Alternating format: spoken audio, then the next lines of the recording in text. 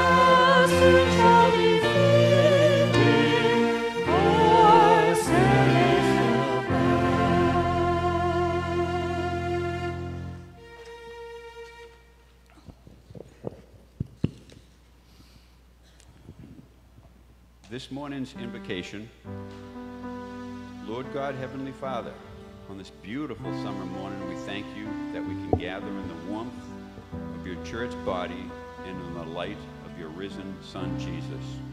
We ask that the Holy Spirit feed us with this worship time and with Pastor Mark's message. And we offer it all up to you as a love offering. So let us all join together in reciting the Lord's Prayer. Our Father, Who art in heaven, hallowed be thy name. Thy kingdom come, thy will will be done on earth as it is in heaven. Give us this day our daily bread, and forgive us our trespasses as we forgive our debtors. And lead us not into temptation, but deliver us from evil. For thine is the kingdom, and the power, and the glory forever. Amen. Good morning. Welcome to Shutesbury Community Church this morning. Welcome to our guest. It's nice to have you. Uh, there are a few announcements, but before we get to that, I would like to take just a minute and pray for John um, Menino Jr., who is right now at urgent care with a problem with his eye and no idea what it is. So let's just, while he's there and they're looking at him, let's have a quick prayer for him. Lord, we just pray right now that you will uh, be there with John and with the doctors that are looking at him this morning, that you will um, help them to quickly discover what's going on with his eye and uh, help him to quickly heal, especially since the family wedding is only six days away. Lord, he's a wonderful part of our church, and we pray your protection upon him. In Jesus' name, amen. So, today is Communion Day, so those of you who are at home, if you would like to participate in communion, you can prepare your elements and be ready at the end of the service. Next week is Food Pantry.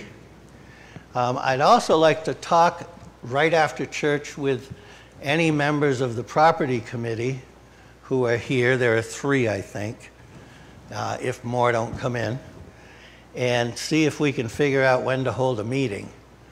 the, uh, there needs to be an organizational meeting with a decision on who's going to be the chairman and so forth.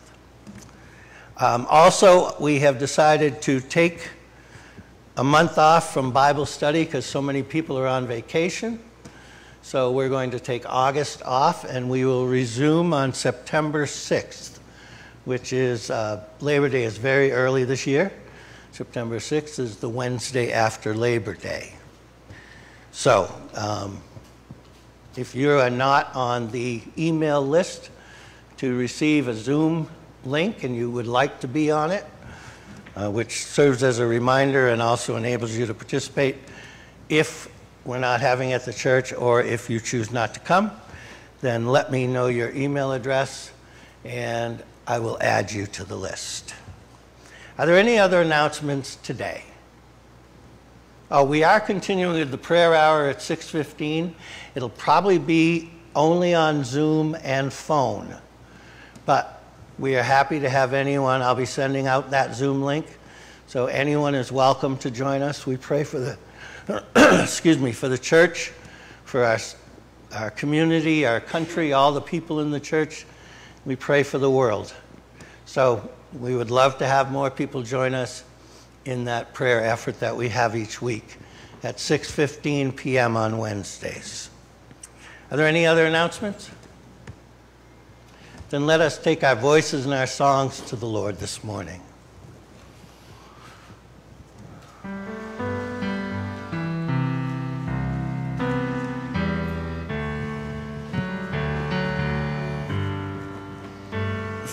Would like to join the choir, which today is only one person, um, please feel free to come on up. A thousand generations falling down in worship to sing the song of ages to the Lamb. And all who gone before us, all who will believe the song of ages to the Lamb. Your name is the highest, your name is the greatest, your name stands above them all. All thrones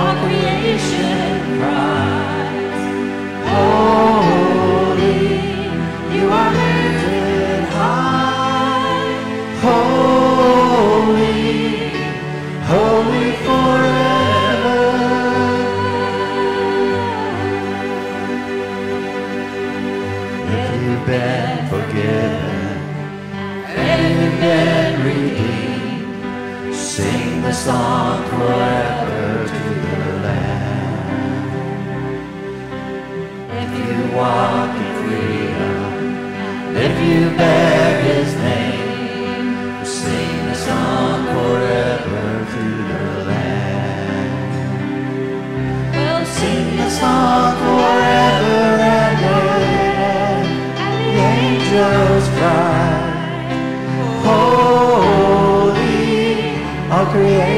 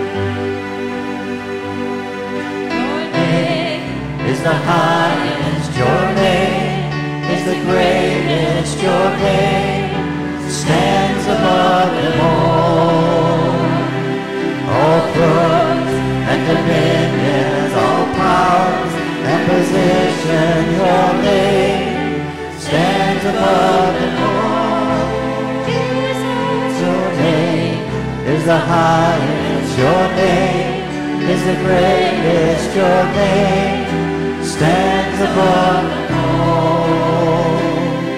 All thrones and dominions, all powers and positions. Your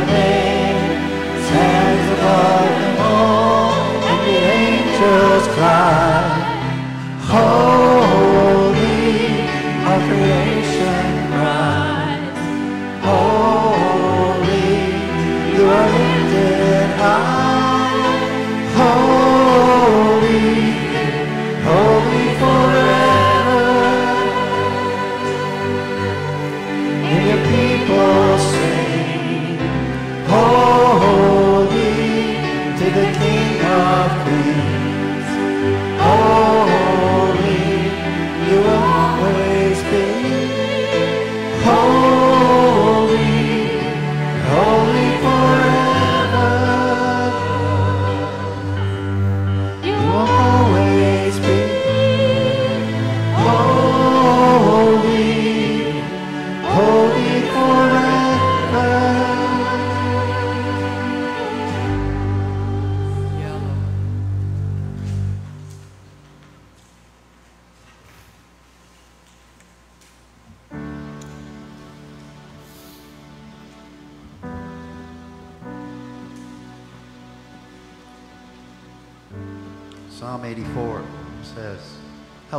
Are your dwelling places, O Lord of hosts. My soul longs and even yearns for the courts of the Lord. My heart, my flesh sings for joy to the living God. The bird also has found a house, and a swallow a nest for itself, where she may lay her young. Even your altars, O Lord of hosts, my King and my God. How blessed are those who dwell in your house. They are ever praising you. Selah. How blessed is the man whose strength is in you, and whose heart are the highways to Zion. Passing through the valley of Baca, they make it a spring, and early rain also covers it with blessings. They go from strength to strength, every one of them appearing before God in Zion. O Lord God of hosts, hear my prayer. Give my ear, O God of Jacob. Selah. And look upon the face of your anointed. For a day in your courts is better than a thousand outside. I would rather stand at the threshold of the house of my God than dwell in the tents of the wicked. For the Lord God is a sun and a shield. The Lord gives grace and glory. No good thing does he withhold from those who walk uprightly. O Lord of hosts, how blessed is the man who trusts in you.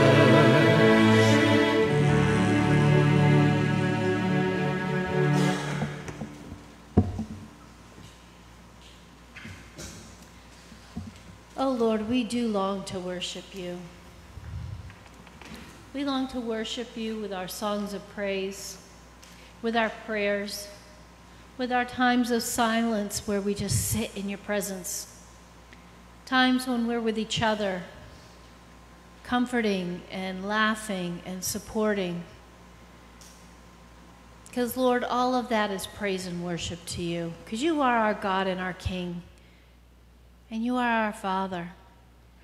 And we are your children, and you want us to be together, to lift each other up, to help our brothers and sisters carry their burdens, to be encouragers, to be that ear and that support during times of pain and suffering. And Lord, we do thank you for all that you do for us. Because you are such a loving and merciful God. And Lord, we just lift up this whole church family to you. So many things going on. And Lord, just we pray for your peace and your calm during the times of uh, sometimes chaos or illness, times when things just don't seem to be going right. And Lord, we just thank you and praise you for those things that are just so unbelievably a gift from you. And Lord, we want to lift up Peggy as she will be coming home next week from Colorado. We pray for Gabe and Mari as they're going to be exchanging vows this coming weekend, and they will be united in you. Lord, we pray for those that are um, just really struggling with some health issues. We pray for Johnny as he's at urgent care. I pray for my brother Matt, who will be having surgery to fix his um, heart valve. Lord, we just thank you because we know that we can leave these prayer requests and we can leave these things in your hands and know with confidence that your will will be done, that you will be there to love and support each and every one. And Lord, there's just no better um, foundation to build our lives on than you as our rock, our solid foundation of hope and peace and love and joy. And we just pray for our country during this upcoming months and the elections. Lord, we just pray for wisdom and guidance as we vote. We just pray for each and every elected official that we have that is in a position to change rules and regulations and change and shape the future of this country that we love so much. And Lord, we just pray for your wisdom and your guiding hand to be in every situation. Lord, we just pray for your justice and we just pray for your love to reign supreme. And we just thank you for all that you do for us. And we love you, Jesus, and it's in your name we pray. Amen. Amen. Um, just a couple more things as part of prayer. Um, Barbara's home from the nursing home, and so we want to pray for her. Chris has surgery on Friday, so we want to pray for Chris. And uh, Charlie is recuperating pretty well from his uh, surgery, but we want to pray for his continued recuperation. And I don't know that anyone else has had any immediate issues, but let's pray. Lord, we just pray for those three people um, that your love and your blessings will be upon each one of them, and that you will bring total healing to them, Lord and bring peace to Barbara and Pam and Charlie um, as they as they settle into this um, having Barbara back home from the nursing home. And Lord, anyone else who may have uh, issues in their life, whether medical, whether um, spiritual or financial, we just pray for your help with those things. We pray for Carrie, who is looking at knee surgery in the in the near future. And so we pray that goes well too, Lord. And we thank you for your love and we praise you. In Jesus' name, amen. So it is time for our offering this morning. And if Nancy could come forward and take that up, please.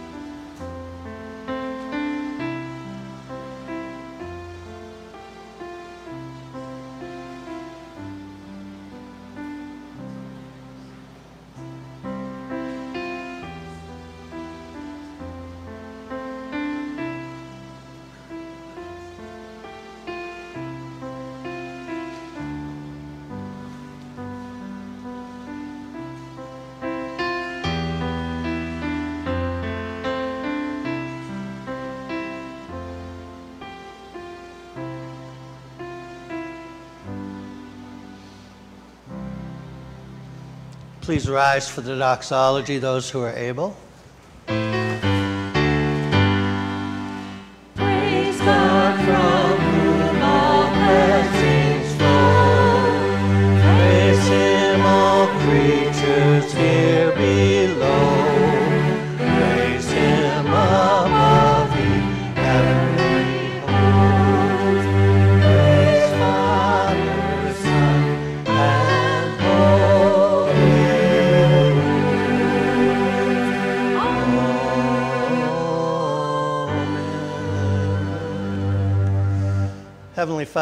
Blessed One, you who has blessed us so greatly, we give you our thanks for those blessings. And as we give back a portion today, that it be used in this church, we pray that it will be used in your will and to your glory here in this church, in the community, and around the world. We pray this in Jesus' name. Amen. Now, if our one choir member would come forward for our children's song. We have no children today.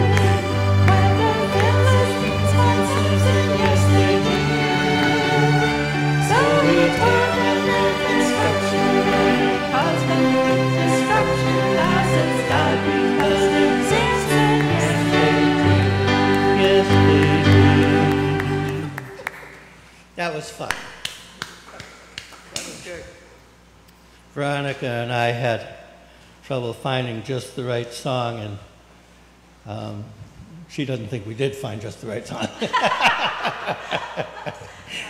Uh, we had a choice between hokey and gory. Gory, So, right. uh, we chose hokey. But it was fun. It was fun. Well, the sermon's going to be a little uh, gory. So we got letters from, before we get into the sermon, I don't need this one. We got letters, turn this up a little. In the building. This one. Is your mic on? Oh, you know what? I didn't turn it on. Ta-da. Is that better? Yes.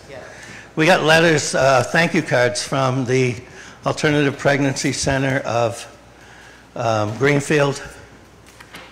We had our baby bottle drive a couple months ago, and they've had a new baby born, um, a baby girl. So they're very happy about that, and we in total donated, including the 300 that we donate as part of our missions, um, they, we donated a total of $808.54. So, excuse me, and I know that um, Brenda uh, and Lori have donated with the church in the past, but I think they're donating separately now. They've developed a relationship, so it's higher than that, I'm sure. Let's pray. Lord, as we go into your word this morning, we just pray that your message will come out loud and clear. That what you want us to learn from this story of Samson, that you will place that in our hearts and our minds. And we thank you, Lord, that you have given us this wonderful book full of insight and knowledge, full of direction for our lives. And we pray that each one of us will spend more time in it and spend more time with the Holy Spirit as we look through it and learn more about you, about ourselves, and about our relationship with you. We pray this in Jesus' name. Amen. So I was watching the Olympics this past week, and I was interested to see, I um, was watching the super heavyweight boxing and I do like boxing. I know a lot of people don't, but I do. I didn't when I was younger, uh, but I do. And I noticed there was a Ukrainian named Dmytro Lovchynskyi. Well, when you are watching a sport and it doesn't have an American in it, you look for a reason to root for one or the other of the participants or teams. So I thought, well, being Ukrainian, and with their plight and their situation, well, I could root for him. So I decided I would do that. He was a big man because it was super heavyweight, 6'3", probably went 220, I would guess. The weight class starts at 200. I would say about 220. And he seemed like a good bet to win. Not that I was going to bet, but I was going to root. And then his opponent came into the ring.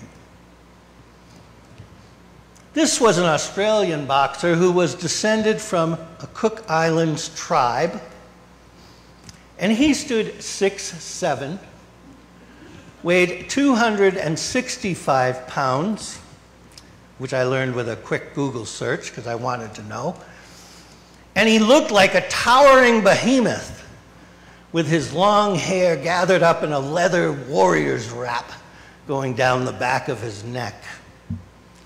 And I said, There's no way this poor Ukrainian is going to win this boxing match. No way. And his name, by the way, was as big and impressive as he was. Teremoana Sampson Jr., Leon Teremoana.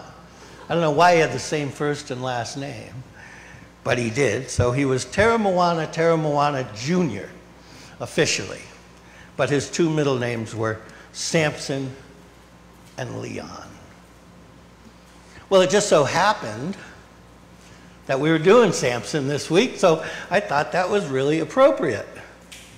And it was an appropriate name for him because he delivered the most powerful blows that I've seen in a long time and that poor Ukrainian didn't make it through the first round.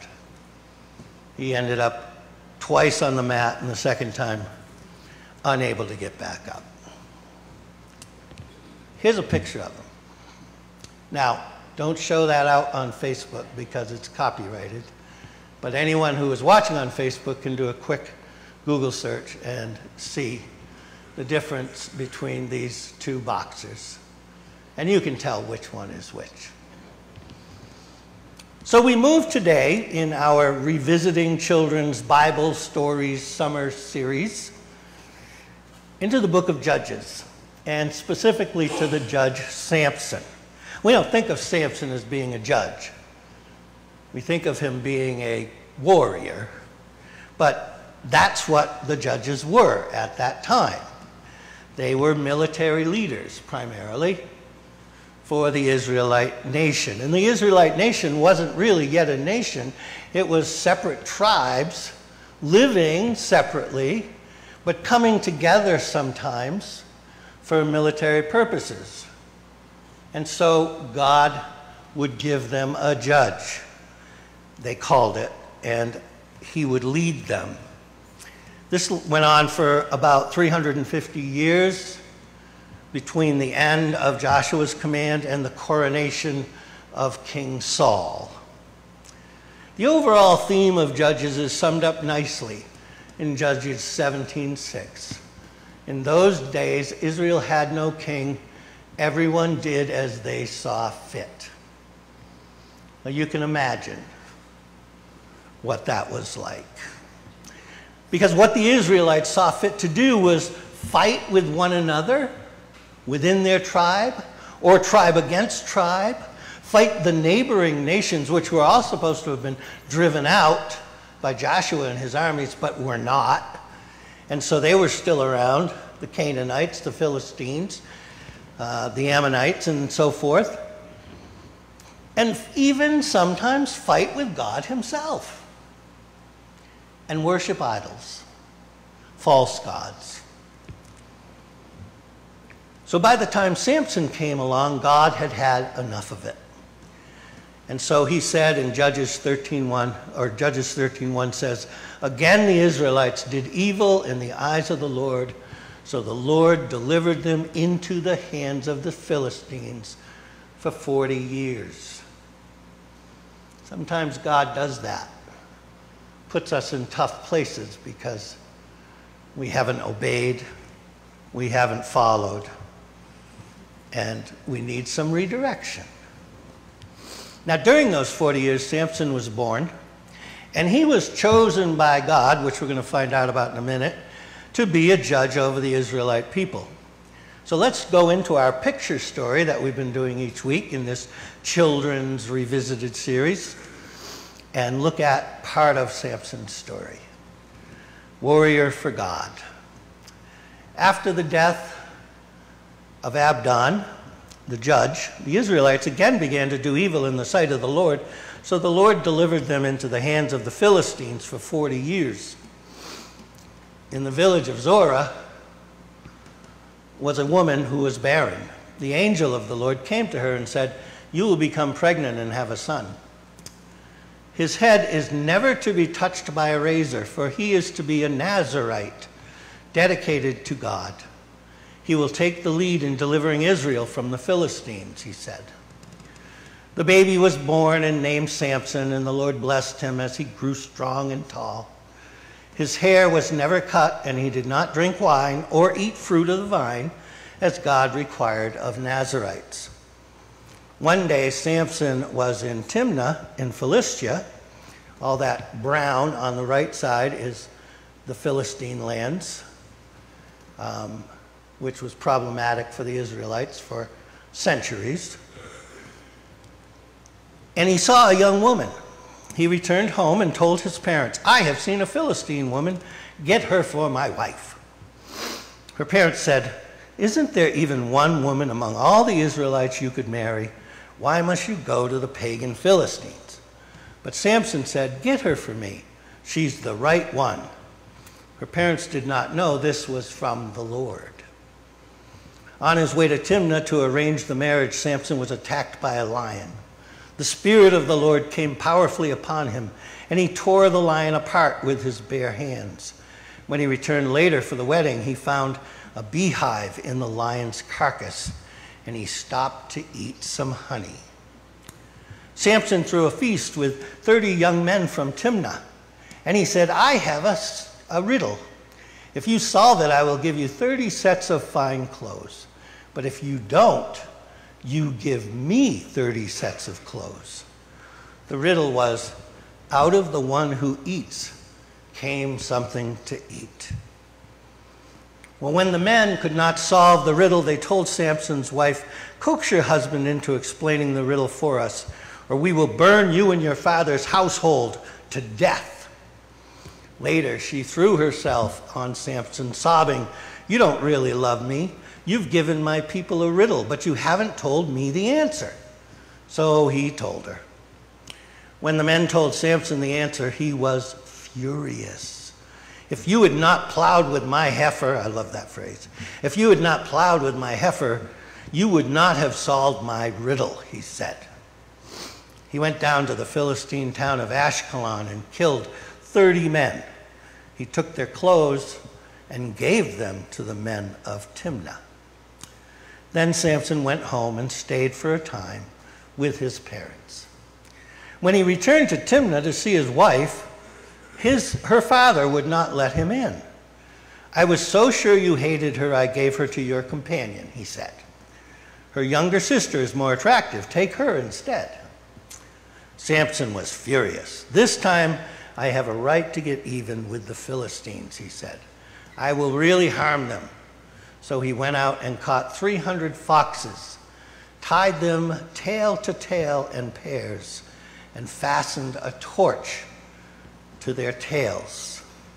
It was harvest time, so he lit the torches and let the foxes loose in the grain fields. He burned up the grain, plus the vineyards and the olive groves. The Philistines asked, Who did this? And they were told, Samson, because his wife was given to his companion.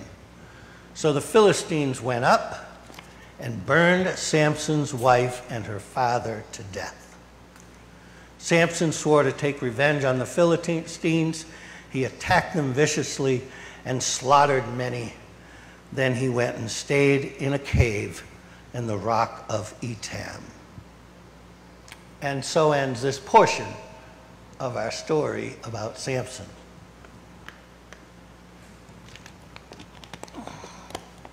So, this is just the beginning of Samson's story as a judge, which goes on for 20 years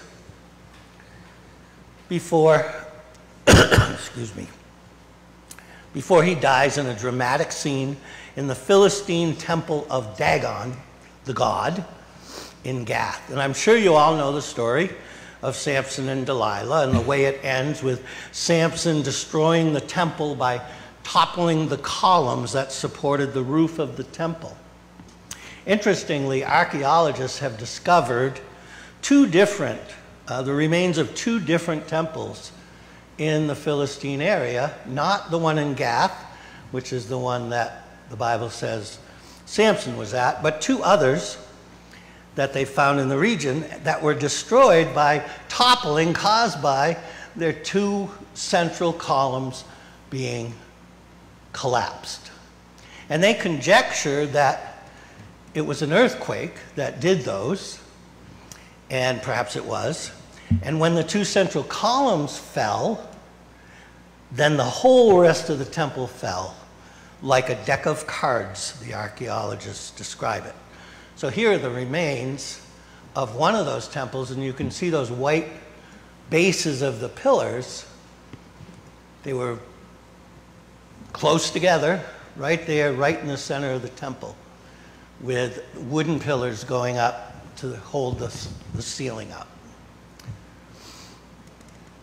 So you can see how it's quite possible for a strong person where these columns were only seven feet apart to reach out and push those, those columns. There was no support for the columns on those platforms. They just, the weight of the roof was the only thing that held them on those platforms, those foundations.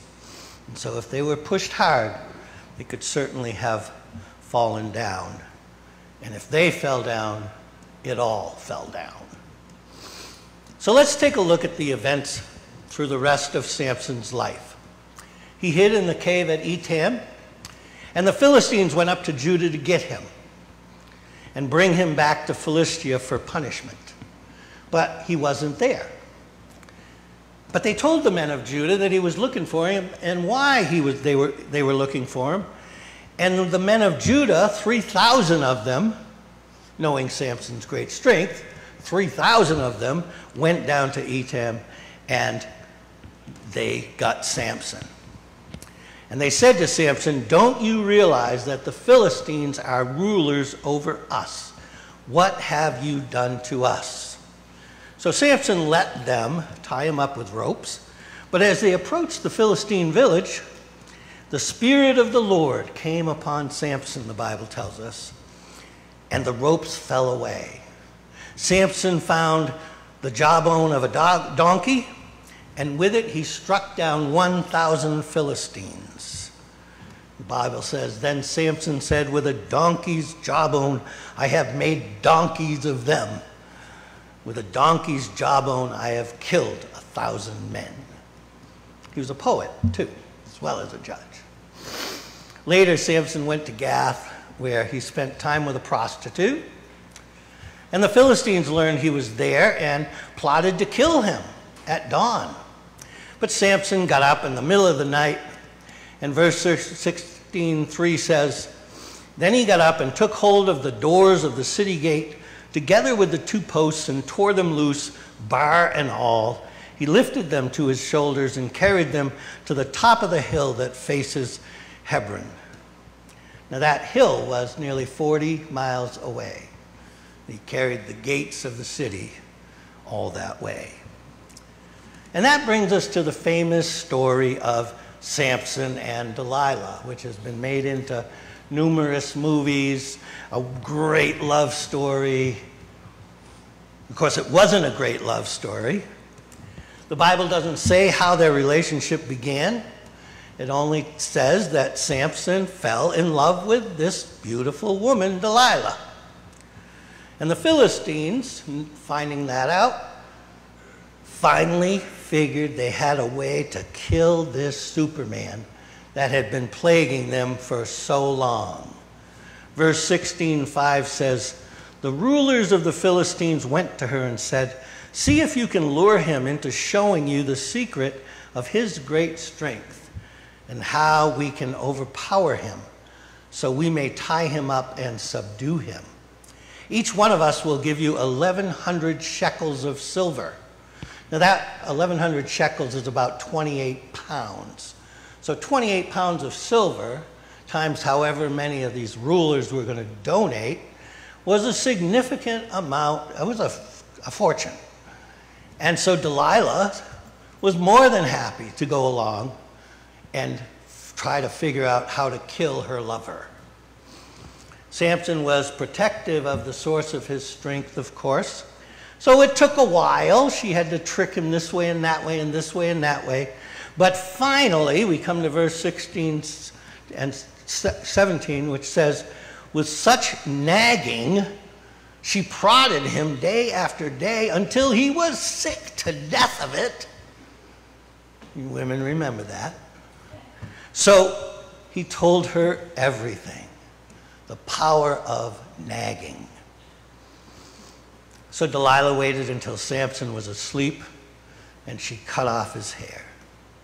The Philistines seized him, they gouged out his eyes, and they dragged him off to Gaza, where they bound him and put him to work grinding grain in a prison. They always show the pictures of the, old, the huge grain things with the big, the big stones in the center and these like telephone poles almost coming out. And you walk around in a circle pushing this heavy, heavy thing. And poor Samson with his short hair for the first time in his life, um, bound in, in chains and pushing this humongous uh, grain grinder, if you will. But no one thought to keep his hair cut, which is kind of a funny thing. And if they knew the secret to his strength, why wouldn't they keep his hair cut? But they didn't. Well, the Philistine rulers all came together at the temple of Dagon, the god, And one of them decided, hey, let's have this strong man Samson come out and he can entertain us. And so they called for him. And he went out, and his hair had grown back. Now, all the Philistine rulers were in the temple, and 3,000 more people were up on the roof of the temple, hanging out. They did that in the Middle East, they still do. They have what we have our backyards with our decks and stuff. They have rooftop decks, and they hang out on the roof. So all these 3,000 people were up there on the roof of this big temple. and Samson stood by the central columns and he prayed, Sovereign Lord, remember me. Please, God, strengthen me just once more and let me with one blow get revenge on the Philistines for my two eyes. And then he braced himself against the columns and he said, Let me die with the Philistines. And he pushed with all his might, and down came the temple on the rulers and all the people in it. Thus he killed many more when he died than while he lived. And that's the end of Samson's story. A dramatic and exciting ending. So, what are we to make of this disturbing story about this warrior man who God seemingly supported this crude, angry, vengeful, prideful man whose motivation was obviously not to serve God, but to serve himself. And yet, every time he came into a situation, we hear or we read, and the Spirit of the Lord came upon him. Oh, God was there supporting him. A man who, instead of obeying God, broke God's commands. God commanded in the law of Moses that a Nazarite was to never touch a dead carcass. And yet, Samson not only touched the lion's carcass after he killed the lion, he reached inside that carcass and took out honey and ate it, which was a sin of the highest order for a Nazarite. A man who was a womanizer First, taking a Philistine wife when he should have been taking an Israelite wife. Then, spending time with a prostitute in Gaza. And then living with Delilah outside of marriage, another Philistine woman. He was disrespectful to his parents. When they suggested he find an Israelite wife, he said no, he wanted the Philistine woman. And then he rudely commanded his father to go get her for him.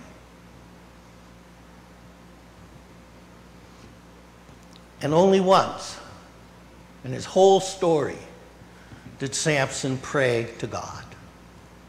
And that was at the very end. And he prayed for vengeance against the Philistines. He didn't pray for his own soul. He didn't pray to serve God. He prayed for vengeance against the Philistines. Samson was definitely not a nice man. And yet, God's purpose for choosing him was to destroy the Philistines because they were a constant problem for the Israelites, who were God's chosen nation. And they were sinful, they were evil. They worshiped all kinds of other gods. They obviously would kill people at the drop of a hat. They burned this woman and her father down in the house. So God wanted the Philistines taken care of, and Samson went a long way toward doing that.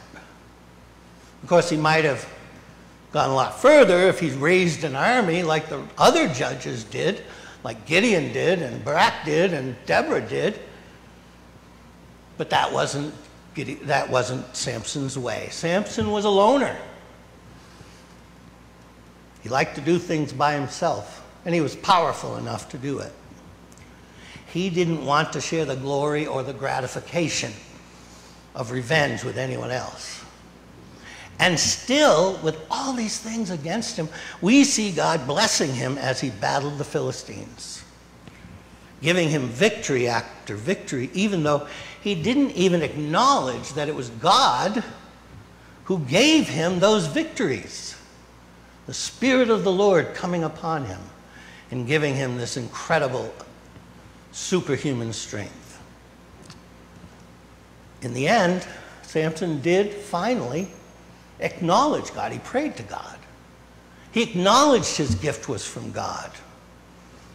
But he was still seeking revenge for himself, not for God. He finally at least acknowledged that he needed God to accomplish this one last great feat. He said, Please, God, strengthen me just once more. And God did. And because he did, Samson was able to kill all of the Philistine rulers, which no doubt crippled the Philistine nation for a time. Now, we know that it didn't destroy the Philistine nation because you move forward some years and you see David fighting the Philistines, right? Goliath was a Philistine. So you still had the Philistines doing battle. They even stole the ark at one point, the Ark of the Covenant. So they were still around. But at least for a generation, the people of God, the chosen people of God, got some relief from this horrible nation that kept attacking them and ruling over them. And in the end, Samson was willing to actually give his life to bring down the Philistines not so much give his life for God, but to give his life for revenge. But by being willing to lose his life and asking God for the power to do this, even though he was going to die by doing it, Samson almost inadvertently finally found redemption. Because Samson was then included in the Heroes of Faith list in the book of Hebrews. The author of Hebrews, after extolling the great faith of such righteous men as Enoch and Noah and Abraham and Moses, he wrote, And what more shall I say? I do not have time to tell about Gideon, Barak, Samson, and Jephthah, about David and Samuel and the prophets, who through faith conquered kingdoms, administered justice, and gained what was promised, who shut the mouths of lions, quenched the fury of the flames, and escaped the edge of the sword, whose weakness was turned to strength, and who became powerful in battle and routed foreign armies. Samson did come to faith. His faith might have been wrongly pointed, but he came to faith that his power was from God, and that only from God could he complete what to him was vengeance, what to God was purpose, which he gives all of us. So, as a warrior, Samson was indeed one of the greatest as he used the special strength God had given him to battle the Philistines, and while he did so for selfish reasons and with little regard for God who gave him that strength, God supported him through it all, as God does for us. He supports us through it all. And in the end, with his strength gone, chained in a prison, Samson realized that without God, without his gift, he was nothing but a weak and broken man. And so are we. Without God, we are nothing but weak and broken people. It took Samson 40 years to come to that realization. But when he did, he finally gave himself to God, and he was redeemed for his faith. Let us pray. Heavenly Father, we thank you for the example of Samson. He's an odd example because he's an example of how not to live our lives, but at the same time, he is an example of how to come to faith. He also is an example of how faithful you are. And Lord, we're thankful that you're faithful because we are broken and weak people. We have no way by ourselves of coming to redemption. Only through you are we able to do that. Only through the blood of Jesus Christ and our acceptance of him as our Savior. So we thank you, dear Lord, for you are our good and loving God, always faithful, even when we are not. We praise you and we love you. Amen. It is now time for our communion. If the deacons could come forward, please.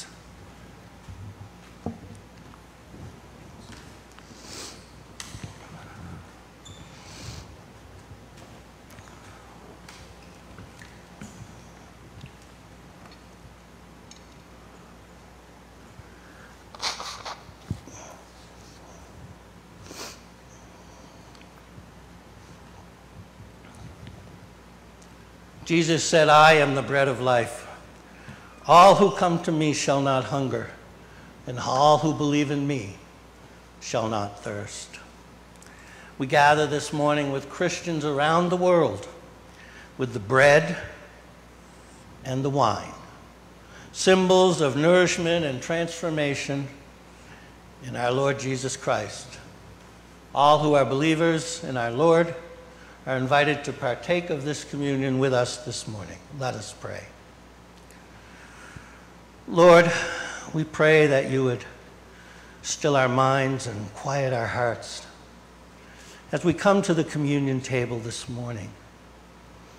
We pray that you will help us to confess our sins and clear ourselves of those things that trouble you we pray you will draw us into an ever closer fellowship with you as we partake of this bread and this wine in grateful remembrance of what you did for us on Calvary's cross.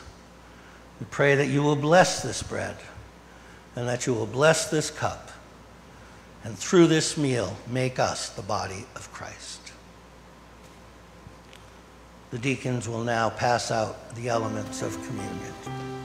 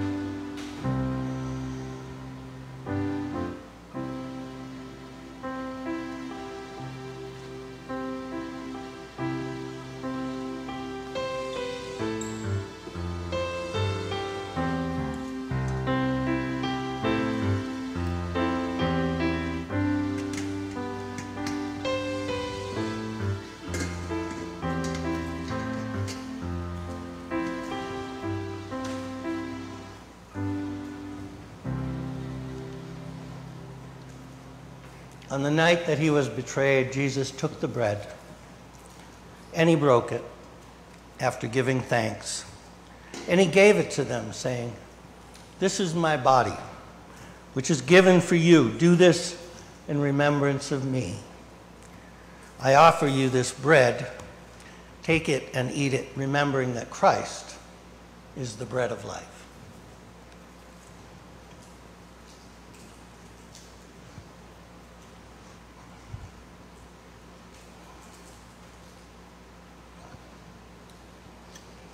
In the same way, he took the cup and he gave it to them, saying, Drink of it, all of you, For this is the blood of the covenant, which is poured out for many for the forgiveness of sins.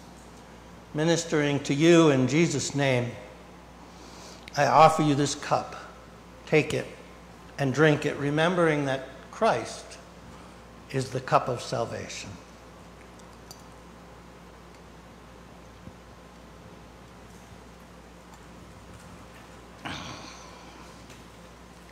Let us pray.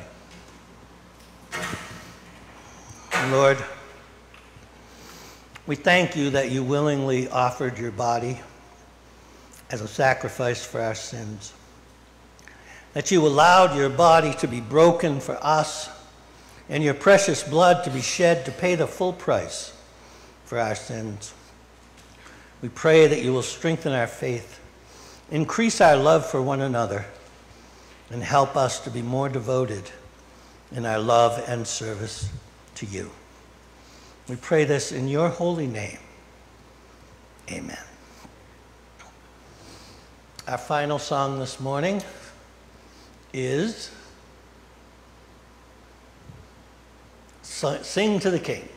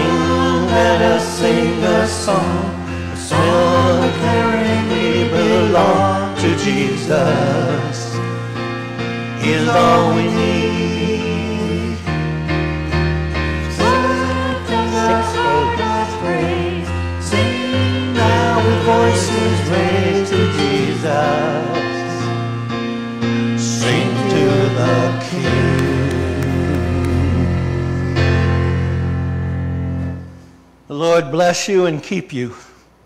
The Lord make his face to shine upon you and be gracious unto you. The Lord lift up his countenance upon you and give you peace. Now may you go forth from this place, carrying the love and the peace of Jesus in your hearts and sharing them with all whom you meet. We pray this in his holy name. Amen.